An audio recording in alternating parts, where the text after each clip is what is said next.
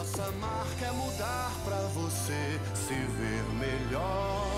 Aqui na TV Assembleia. O programa a seguir é livre para todos os públicos.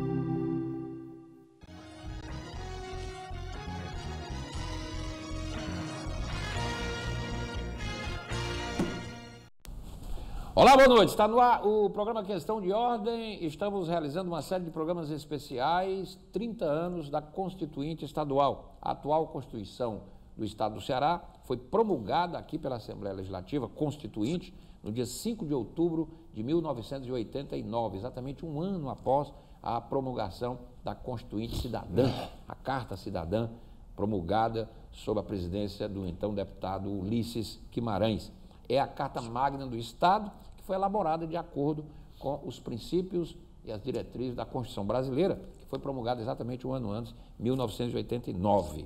A Assembleia tinha uma mesa diretora e foi eleita uma outra mesa que comandou os trabalhos da Constituinte, mantendo-se em alguns cargos, como, por exemplo, o presidente da Assembleia da época, o deputado Ateu Câmara, foi mantido presidente da Assembleia Constituinte, primeiro vice-presidente Macário de Brito, segundo vice-presidente Narcélio Lima Verde, primeiro secretário Hilário Marques, segundo secretário Geraldo Azevedo, terceiro secretário Elmo Moreno, quarto secretário Everardo Silveira, o relator Barros Pinho e deputados estaduais constituintes. Hoje, para a gente continuar é, contando essa história, eu recebo aqui o ex-deputado constituinte João Alfredo, que era da bancada do Partido dos Trabalhadores.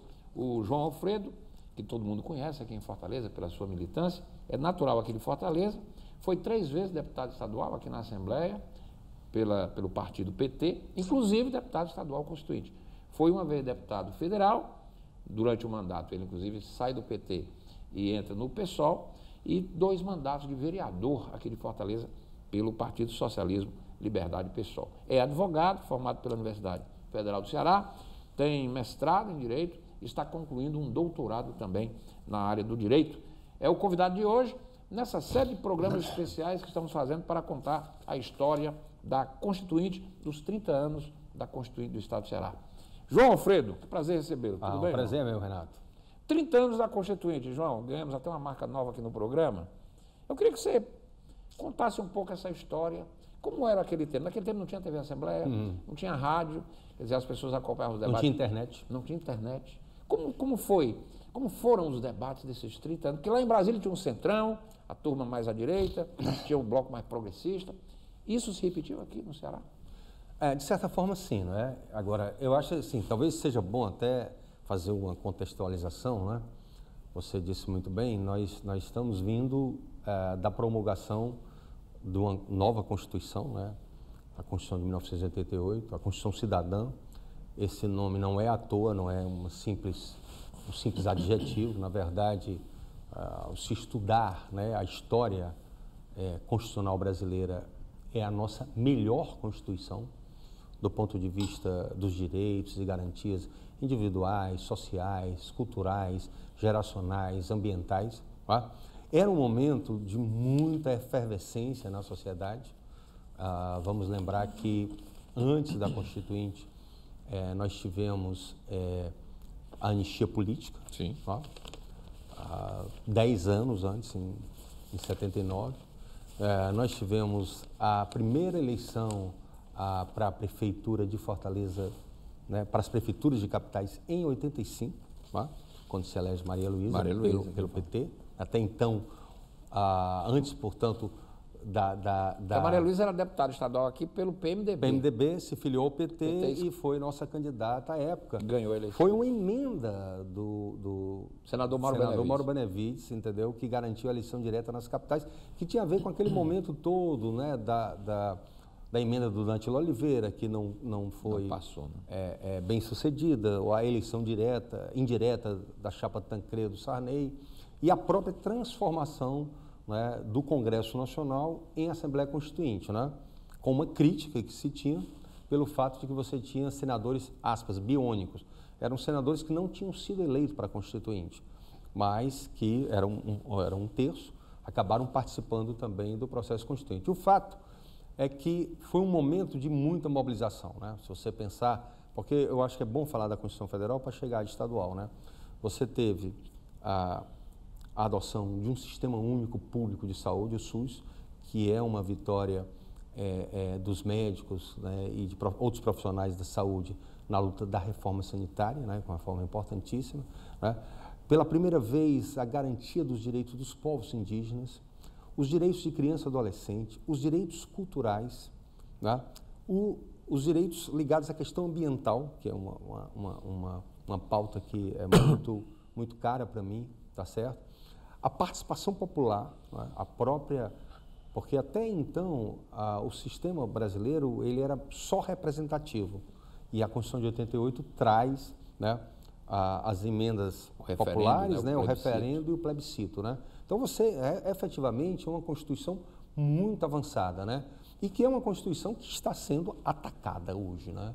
Os seus princípios estão sendo frontalmente atacados por quem chegou ao governo do país. Então, a nossa Constituinte estadual, vamos dizer, ela é filha também desse, de, da, tanto da Constituição, né, como desse processo de ampla participação é, popular. Agora, João, estou aqui com o João Alfredo, que é deputado estadual constituinte de 1989. A eleição do deputado estadual que participou da Constituinte, no seu caso, foi na mesma eleição que elegeu os constituintes federais. Exato. Os federais e os senadores, dois senadores, no caso Isso. aqui no Ceará, o Mauro Benevides e o Cid Carvalho, foram eleitos senadores ah. constituintes. Tinha lá ainda o Vigílio Távora, que não era eleito constituinte, mas ficou, uhum. porque um terço dos senadores um ficou, é. permaneceu. Pois bem, a eleição federal foi muito marcada com essa questão da constituinte, porque eles iam fazer a nova é. Constituição. Isso repercutiu também na eleição do, do Estado, que a eleição, a Constituinte Estadual, teve que esperar primeiro a é. promulgação da federal para ser realizada aqui, um ano depois, a Constituição. É, eu acho que tem isso, tá certo? Que acho que é, um, é, um, é uma questão importante, inclusive, o, mais os deputados federais do que os estaduais se colocavam é, nas suas propostas Isso. do que propriamente nós estaduais, porque estávamos um pouco dependendo. Então, por exemplo, à época eu fiz dobradinha com Antônio Amorim, que hoje ocupa uma das secretarias do, do governo Camilo, Antônio Rodrigues de Amorim. Era ligado à luta dos trabalhadores rurais. Trabalhadores rurais, ah. era presidente do sindicato lá de, dos trabalhadores rurais de Tauá.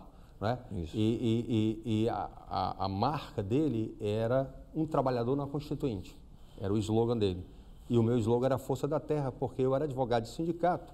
E a gente, então, é, fez a campanha é, muito junto, né, voltado principalmente pela questão da reforma agrária e dos temas ligados à luta trabalhista rural. Mas tem um outro, acho que tem um outro é, é, é, é dado né, de realidade que marcou, as ele, que marcou as eleições de 86. Foi o, o combate aos, aos coronéis. Né? Sim. Né? Se elege o Tasso. E se elege o Tasso. Tasso, uma bandeira época, contra os coronéis. É, exatamente. Então você tinha o que era, o, vamos dizer, os chamados coronéis da política cearense, né? É, Vigílio, César Calles e, e, e, e, Adalto, o único que está vivo é o Adalto, né? O Vigílio não, concorreu porque tinha mandato, mas é, o Adalto foi o candidato ao governo e o César candidato ao Senado. É, exatamente. Então você tinha essa configuração, né? Tinha. Hoje, inclusive, nesse ano está se comemorando o centenário do, de, de Vigílio Távora. Vigílio né? Távora. E então o, o Tasso sai com a campanha contra os coronéis. Existiu um movimento pro mudança, né? Vamos lembrar, né? Bem Sociedade Civil. Amarílio Macedo e, e, e, e o, o Sérgio Machado, né? Eram com, com, com o Tasso, eram esses e nomes. E partido de esquerda que apoiaram, né? É, o PCB, o PCdoB, o MR8 é, e o PDT apoiaram. É, apoiaram, né? E nós saímos com a candidatura mais à esquerda, né? O PT com o Padre Haroldo, Padre Haroldo. também já faleceu recentemente, é. não é? numa aliança com o PSB, não é? É, é, é Regis Jucá, Valtor Miranda, Miranda. Né? É, Chico Lopes, é, o Chico Lopes vai ser depois, né? Vai ser em 90, agora não tem o Chico Lopes, não. Então a gente sai nessa campanha, né? É, até porque nós vimos da vitória da Maria Luísa, né? Então, vamos dizer, a nossa oposição era uma oposição à esquerda ao Tasso. O Tasso, embora estivesse, aspas, à esquerda dos coronéis, nós éramos uma opção, uma opção à esquerda. Então, esse episódio também de uma, de uma mudança, né? Porque Gonzaga Mota rompe com os coronéis, né? E apoia o Tasso que vai pelo, pelo PMDB, né? PMDB. A gente até conversava Plano um pouco, cruzado. Né? É, plano cruzado, toda essa coisa. Então, isso teve um impacto é, muito grande nas eleições. De, de, de sorte que, não, não houve um debate sobre Constituição estadual. Tinha um, um debate dos grandes temas nacionais, é? dos grandes temas nacionais, mas efetivamente a gente vai, na verdade, sofrer esse impacto no funcionamento da própria Assembleia. É, só para dar um exemplo, quando estava ainda ocorrendo né, a Assembleia Nacional Constituinte, né, em Brasília, nós tivemos uma visita aqui à Assembleia é, é, da bancada verde, é, que era a bancada que se articulou né, e conseguiu colocar um capítulo do meio ambiente na Constituição. Então teve aqui é, o então deputado Eduardo Jorge, que era um dos coordenadores, junto com o Fábio Feldman, e nós fizemos um debate já àquela época sobre a questão ambiental na Constituição. Eduardo Jorge era do PT e o Fábio Ferman era do PSDB. É, porque exatamente. é, a Constituinte tinha um detalhe interessante. Os deputados se agrupavam por posicionamentos Por políticos. blocos, é, Tinha gente do é. PSB, PSDB que era mais à esquerda e tinha gente do PSDB que era mais à É, direita. e o Fábio Feldman é um dos, sempre foi um grande militante ligado à questão Foi, ambiental. ambiental. Foi da SOS, SOS Mata Atlântica e tal. Né? E o Eduardo Jorge, depois foi para o PV e tudo Isso. mais, era outro membro dessa, dessa bancada. Então, de alguma forma, isso já trouxe o debate, ainda na época da Constituição Federal, para a Assembleia Legislativa. Aquele tempo a Assembleia Legislativa ainda não tinha se transformado em Constituinte, já antecipando né, esse debate, que foi um debate que eu tive uma participação mais forte, que foi na questão ambiental. Muito bem, estou aqui com o deputado constituinte de 89, João Alfredo, e a gente está realizando uma série de programas aqui, tendo em vista os 30 anos da Constituinte Estadual de 1989 aqui na Assembleia.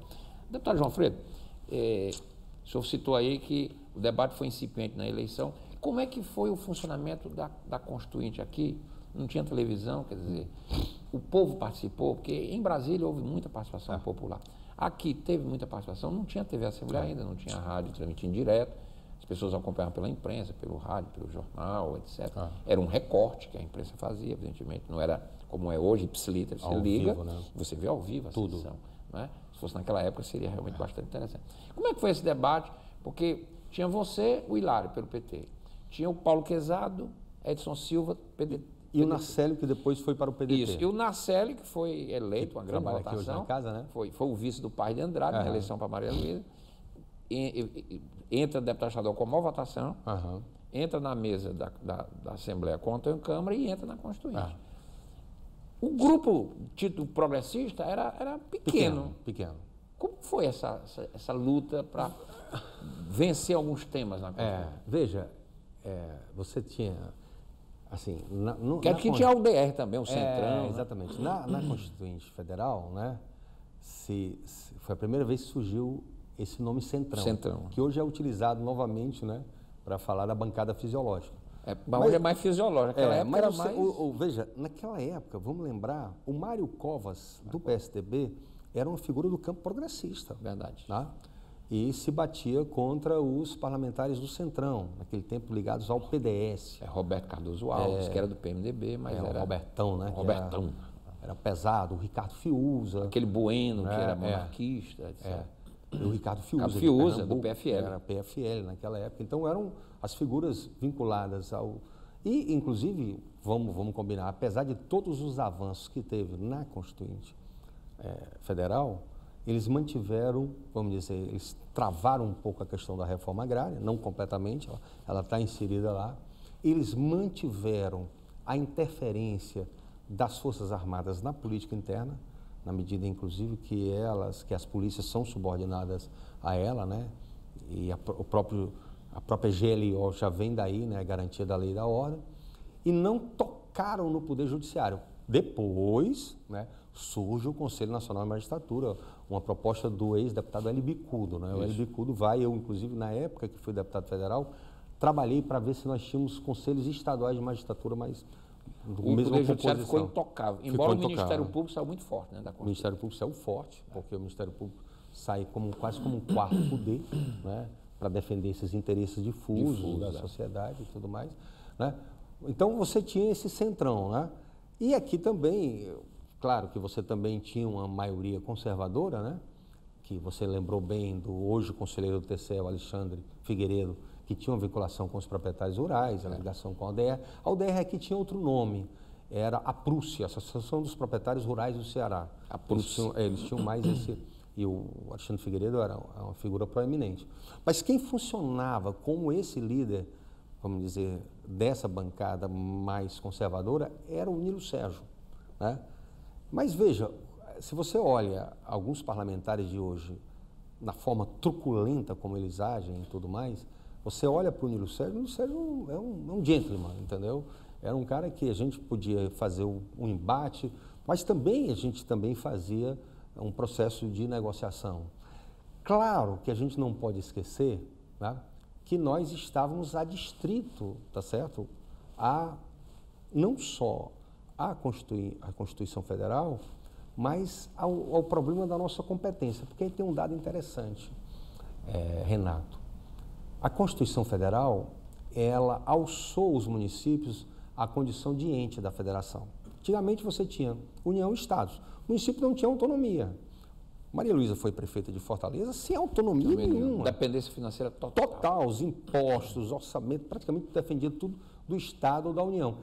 Com a Constituição nova, não só os municípios entram, né, União, Estado, Distrito Federal e municípios, na configuração da República Federativa, como tem impostos próprios, está entendendo? Como tem a definição da sua, da sua competência naquilo que diz respeito ao interesse local, né? ao interesse local.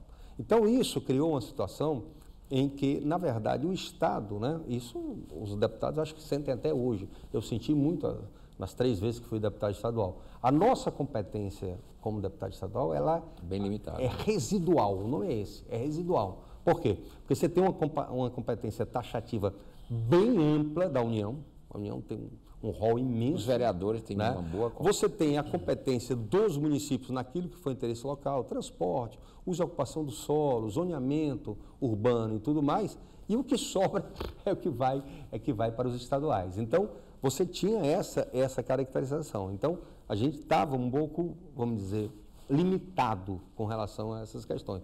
Mas eu acho que houve avanços importantes, né? Avanço na questão da participação popular, tá certo? Que, que foi garantido, né? Pela, pela Constituição Estadual. Né? Avanço na questão da criança e adolescente. Se conseguiu, se conseguiu trazer para cá os avanços da, da, da federal? João? Se conseguiu, e mais do que isso, eu digo mais do que isso. Por exemplo, se a gente olhar a questão ambiental, né? que foi uma questão que eu trabalhei muito, o então é, é, o Renato Aragão, não Renato Aragão humanista, Renato Aragão ambientalista, que hoje trabalha na FIEC, o Renato Aragão ele, ele participou muito desse processo de debate. E uma das sugestões que surgiu com os movimentos ambientalistas, qual foi? Foi a de criar uma situação em que os grandes projetos, para serem licenciados do ponto de vista ambiental, têm que ser examinados pelo Conselho Estadual do Meio Ambiente. Isso nem toda a Constituição Estadual tem. E a nossa Constituição Estadual garantiu isso, está certo? O que foi, no meu entendimento, um avanço importante, até porque eu sou, eu sou professor de Direito Ambiental. Bom, estou aqui com o deputado constituinte de 89, João Alfredo, à época ele era do PT, do Partido dos Trabalhadores, e a gente está falando exatamente nessa efeméride de 30 anos da Constituinte Estadual, de 89, porque os, os sistemas de comunicação aqui da Assembleia estão fazendo uma série de reportagens especiais da Assembleia, o programa Questão de Ordem, a FM Assembleia 96,7 está com uma série de programas especiais entrevistando os deputados constituintes, tentando trazer, 30 anos depois, uma luz sobre os debates, as grandes questões, não é? o, o, como foi produzida a Constituição Estadual na Assembleia Constituinte de 1989. O, o, João era um dos deputados constituintes, à época, formando a bancada do Partido dos Trabalhadores. João, como funcionava as bancadas? Porque tinha o governo do Tasso, Aqui houve um rompimento não é, entre o Tasso, o governador, e o Câmara, que era o presidente é. da Assembleia, que foi o presidente da Constituinte. Eu me lembro dessa época, eu era estudante, e a gente realizou muitos debates lá na, na Universidade Estadual, à época, no governo estudantil. Levamos o Câmara, levamos o Paulo Stosa, à época. Paulo Stosa era do PFL, mas tinha uma posição é. progressista. Uhum. Né? Outros deputados aqui, principalmente o Câmara, e ele sempre tinha aquela visão de também fazer uma carta cidadã no estado do Ceará. Foi importante ter o Câmara, isso fortaleceu um pouco, melhorou, porque se fosse contar pelo voto, vocês eram minoria, pelo ah. que eu estou vendo assim. Quer dizer, teve que ter muita negociação e, e traquejo político para conseguir esses avanços. É verdade. É, é, eu acho que a gente sempre tem que fazer, é, apesar das diferenças políticas e ideológicas, a gente tem que fazer, vamos dizer, justiça, tá certo, a, ao posicionamento do, do, do, do deputado Antônio Câmara. Né? É, a, a, a ruptura que se dá dele com o governador, que pode ter havido por questões intestinas, internas do PMDB, de disputa de poder, mas tem um outro aspecto que eu acho que é importante ressaltar. Tá? É, a autonomia do próprio Poder Legislativo. Claro que não, é, não existe uma soberania. Né? Os poderes são independentes, mas são harmônicos. Né? E a independência do poder está, evidentemente, delimitada por suas atribuições. Não, é? não pode invadir né, a área de competência é, do Executivo ou do Judiciário.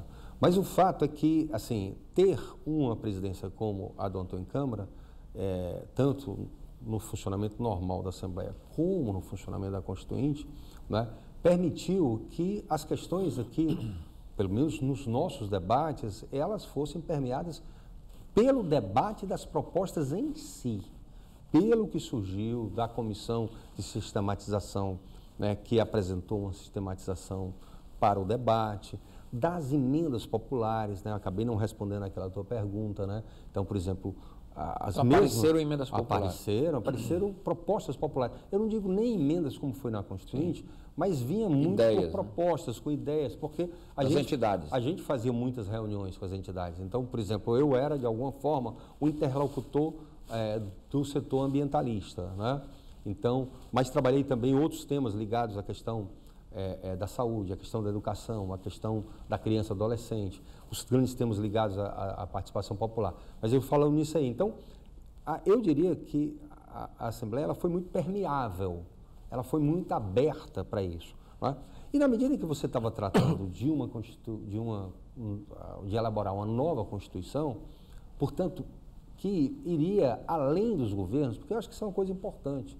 Os governos, eles são conjunturais, eles são circunstanciais. Uma Constituição não se, se pretende que ela tenha, vamos dizer, uma estabilidade, né? Tanto é que você tem na Constituição essa expressão cláusulas pétreas, né? que são aquelas que nem mesmo o próprio Congresso pode, pode é, é, modificar, né? Então, nem mesmo pode modificar.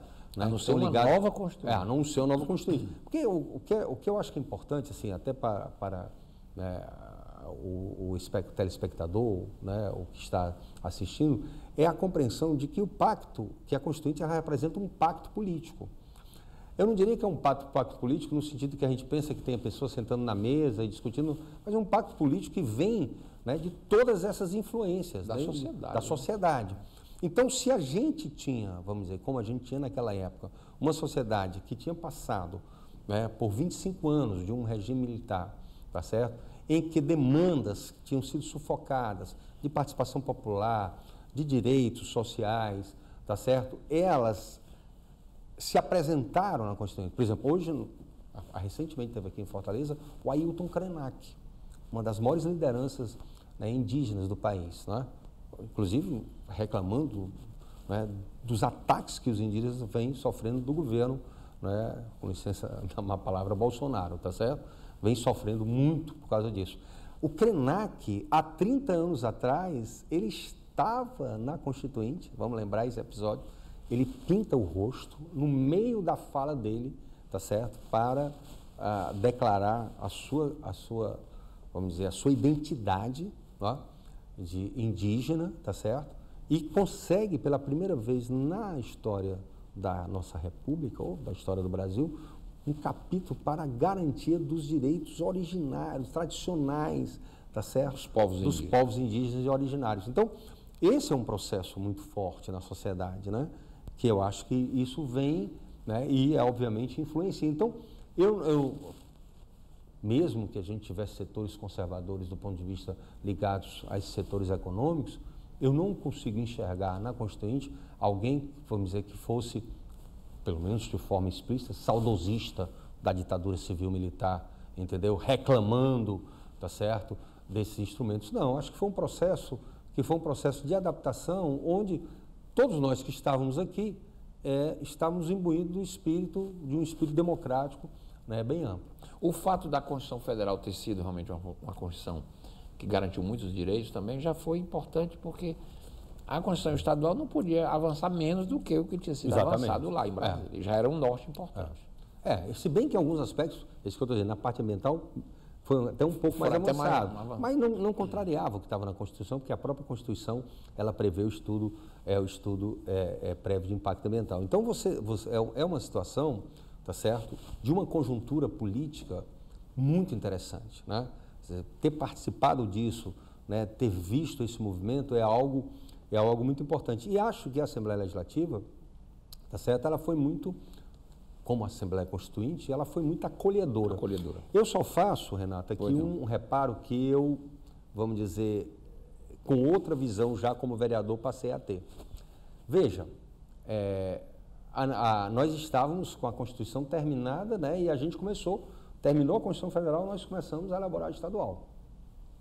As nossas constituições anteriores... Mal terminou lá a programação. É, já, já, já emendamos aqui. Tivemos um ano, um ano, exatamente um ano, um ano para isso. Lá foram, foram dois anos, a gente teve, a gente teve, lá foram quase dois anos. A gente teve um ano Até o aqui. dia 5 de outubro de 89 foi É, a data da exatamente. promulgação. Então a gente, a gente, como é se diz, a gente trabalhou muito a partir disso.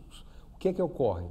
Além de ser uma constituição cidadã, como eu falei no começo, ela era uma constituição municipalista. E eu acho que a gente cometeu, eu digo isso de forma Eu tranquila. me lembro muito do Zé Guedes, né? O Zé Guedes. tinha- Zé Guedes e Campos é, Barros, Campos né, Barros, eram essa é, luta. sempre o, O Américo Américo, Barreira, né, o Américo. foram pessoas que sempre lutaram pelo municipalismo, né?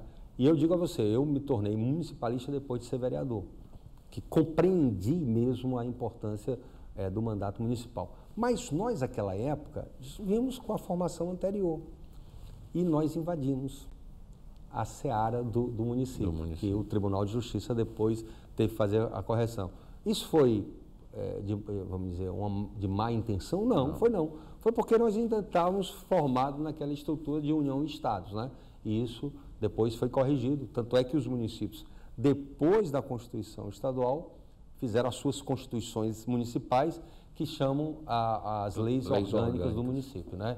Então, eu acho que o meu reparo seria só esse, é um reparo que eu faço como autocrítica coletiva, porque, de fato, era, era- a gente não havia incorporado ainda, tá certo, esse espírito municipalista que tem hoje na Constituição. Todos os artigos foram votados no plenário. Qual era a maioria para entrar na Constituição? Porque aqui foram a, a Constituição do Estado do Ceará, que é essa Constituição aqui, ela tem 36 artigos com mais 41 do ato das disposições transitórias.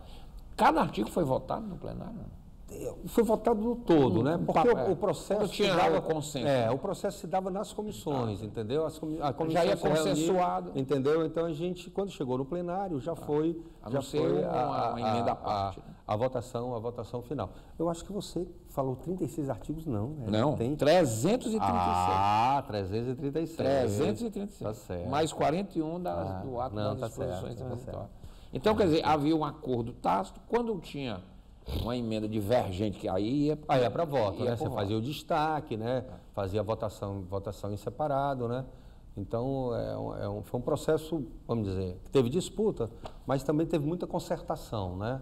Teve muita procura de encontrar né, as melhores soluções. E não teve assim o peso do, do governo, não. não era, o governo não tinha.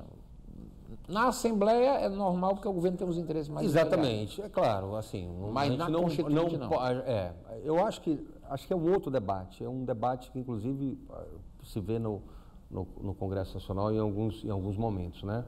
Você tem ah, a Assembleia funcionando? Não, você tinha esse embate governo e oposição.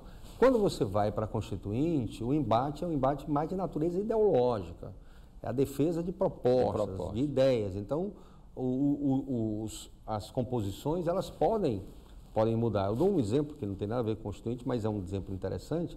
Quando eu fui deputado federal, eu fui relator da CPI da Terra. Uma CPI ligada à questão agrária, os movimentos sociais, a violência no campo e tudo mais. tá? Era, o- era o primeiro governo do Lula, eu só fui deputado federal nessa época, fui relator nomeado, indicado pelo PT, e mesmo passando pelo pessoal, eu continuei. Continuei. A divisão da CPI não era governo e oposição. Era os favoráveis à reforma agrária E os que e os vinculados aos ruralistas. Aí você tinha gente dos dois lados, tá certo, nesse corte. Então é um pouco que a gente vai encontrar eh, na Constituinte Estadual. Porque fu- funcionava a Constituinte e funcionava também a É, Assembleia, Assembleia, né? é claro. Tinha, Chegava projeto de lei, você tinha que votar. Tinha dias né? da Assembleia, É, tinha exatamente, dias. você tinha que fazer o, né, o balanço aí, né? Muito bem. Naquela época não tinha a força que tem hoje a televisão. Vocês sentiam falta, João, dessa época do, desse- de, de- de ter uma, digamos assim, uma, uma visibilidade maior? Ou não- na- ou- ou- porque ninguém nem imaginava né, que um dia as, as TVs legislativas estariam da forma como estão hoje. É, é interessante, você, você pode falar agora pensando em retrospectiva. Mas na época que a gente está vivendo, isso não existia. É. Não né? existia, né? É como eu chegar para os meus alunos e dizer assim, vocês sabem que quando eu fiz a faculdade de Direito não tinha internet, não tinha Ctrl-C e Ctrl-V, você não pegava nenhum texto, você tinha que ir nos livros, que a gente tinha que bater numa maquinazinha né, datilográfica e tudo mais. Eles tomam um susto com relação a isso. Hoje é difícil você pensar num retrocesso com relação a isso. Então, a cobertura era uma cobertura feita pelos jornais, Pelos jornais. né, jornais escritos, portanto, no outro dia, né, quando muito nos programas de, De rádio, tá certo, que tratavam das questões políticas. Então, de alguma forma, você tinha participação, porque cada parlamentar tem a sua relação com os movimentos, e os movimentos vinham para cá e tal. Mas do ponto de vista do que é hoje, é muito diferente, né? É muito diferente. Você não, hoje você, você, você pode interagir online com, com o parlamentar, você pode acompanhar. Eu, quando fui vereador, era muito interessante. Minha mãe já está com, com 92 anos e ela assistia lá o- os, os debates da, da TV Fortaleza e depois ligava para mim para fazer uma observação. ou Legal, outra, né? Então, isso é uma coisa que também as pessoas fazem isso de modo geral. né? Ho- Hoje Na época não tinha, participa- não, tinha internet na época não da tinha, não tinha internet, não tinha televisão, não tinha rádio nesse sentido Certo. de transmissão, né? Então, quer dizer, se você pensasse um processo desse hoje com, com isso, seria muito mais participativo. Mas, por outro lado, que eu acho que a gente não deve deixar de falar, a sociedade hoje é muito mais conservadora do que era É, 30 João? anos atrás. É? É. Se você olha a composição... Ou acordou agora? É, não, não acho que acordou. Eu acho que houve um avanço de uma posição, inclusive no início muito subterrânea, tá entendendo? Depois ela se manifesta nas composições. né? Se você olhar as composições dos parlamentos, de um modo geral, é muito mais, são muito mais conservadoras do que há 30 anos atrás. Se você, por exemplo, você olha o seguinte, vamos falar aqui no governo federal. O que, que, o, que, que o presidente diz? Não demarco nenhum centímetro de terra indígena. Indígena. Mas está na Constituição, é Ele obrigação. que já tem terra demais. É, mas é obrigação dele. Se for detectado, se for constatado que ali é terra indígena, ele não tem que dizer se vai ou não vai. Isso é um processo constitucional. Então você fica imaginando, tá certo, que, que, que essa sociedade, vamos dizer, ela cresceu um segmento conservador e até reacionário muito forte. Naquela época não, você vinha de uma, de uma ditadura civil militar, não é? Aí você pega 79 anistia, os movimentos sindicais, surgimento da CUT, surgimento do PT. Então você tem um processo que leva à Constituinte, tá certo? Aí eu acho que entra um outro aspecto, que eu acho que é um aspecto que a gente não pode deixar eh, de mencionar, que é o não cumprimento, né? Isso é uma característica da história do Brasil É a frustração. a frustração constitucional. Você tem, é, nós somos os eles e vezeiros em fazer, fazemos belas declarações nas leis e elas não serem cumpridas. Então, quer dizer, isso não, não, não faz parte da vida É muito do pessoas. Brasil, né? É muito isso. É, então não faz. Então eu acho que isso, 30 anos depois, a gente tem que ver também isso, né? Essa João, Constituição não era, que não se cumpriu. Você não era Constituinte Federal, você era, estou aqui com o João. Alfredo, deputado Constituinte Estadual. Por que, que o PT não assinou a Constituinte Federal? Que ainda Pois hoje isso é cobrado do PT. É, é. Hoje, hoje eu acho que foi um equívoco. Hoje eu acho que foi um equívoco. Havia uma, havia uma, uma, uma justificativa, uma justificativa, vamos dizer, do ponto de vista ideológico. Né? A época. Porque a Constituição não foi conservadora, era uma Constituição cidadã, avançada. Mas a razão era a questão do capitalismo. Entendeu? O PT não é um partido pró-reforma? Pois é, mas na, na época, eu, eu diria que o PT naquela época, vamos dizer, a posição anticapitalista, socialista, era muito mais forte. mais forte hoje o PT é um partido, vamos dizer, social-democrata, diferente eh, do pessoal que é um partido anticapitalista. Mas veja, quando se está no parlamento, independente de você ser vamos dizer, uma pessoa de esquerda anticapitalista, você está ali para conquistar espaço. Né? Não, não vou à minha época, não. Vejamos a atuação do Renato Roseno aqui na Assembleia. Né? Algumas conquistas, né? como a questão da lei da proibição da pulverização aérea. é Não uma teria coisa- acontecido sem ele aqui. e- é, e, e não teria acontecido se ele também não fizesse uma articulação que tem que Sim, fazer sim. com os partidos, inclusive da base do governo. Né? Ou a, a Presidência formação- da Comissão de Direitos é, Humanos. é. a- a- Ou a formação do, do, do Comitê né, de. Prevenção aos Homicídios Trabalho na Adolescência, que é um trabalho fundamental hoje. Então, você, você tem clareza que, assim, para nós, muito claro, que você não vai instalar o socialismo pel- pelos parlamentos, ainda mais com a correlação de forças tão desfavorável que a gente tem. Então, o espaço ali nosso é um espaço de ampliação de direitos, de vocalização das lutas sociais, de apoio às lutas e aos movimentos sociais. Então, eu acho que o processo é esse. E acho que foi uma, uma demarcação, né? Quando a gente olha, né? Era é, ter equivo- é, hoje, hoje eu vejo assim. Eu apoiei na época, mas hoje eu vejo assim. Por quê? Porque você olha, tá certo? O que que foi alcançado e que inclusive está sendo atacado hoje, não é? Você diz assim, puxa vida, isso é um patrimônio, é um patrimônio da sociedade E que você brasileira. fez parte e É. você também construiu. Construiu, porque o PT foi lá, Claro, votou e- e colocou, vamos dizer, a- a- as. Foi, um- foi uma, foi uma demarcação que eu acho que hoje.